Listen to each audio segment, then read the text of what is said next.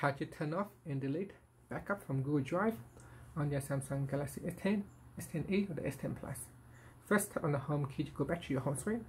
Then swipe down and tap on the settings icon. Next tap on accounts and backup. Then tap on backup and restore.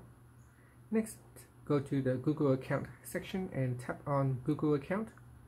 In here you can tap on backup to Google backup to Google Drive switch to turn it off after you, you do that tap on turn off and delete. And this will basically uh, delete all your backups data.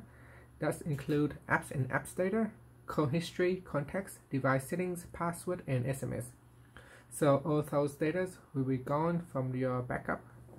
And later if you want to turn it back on you can always tap on the switch to turn it back up uh, to turn it back on. And that's it. Thank you for watching this video. Please subscribe to my channel for more videos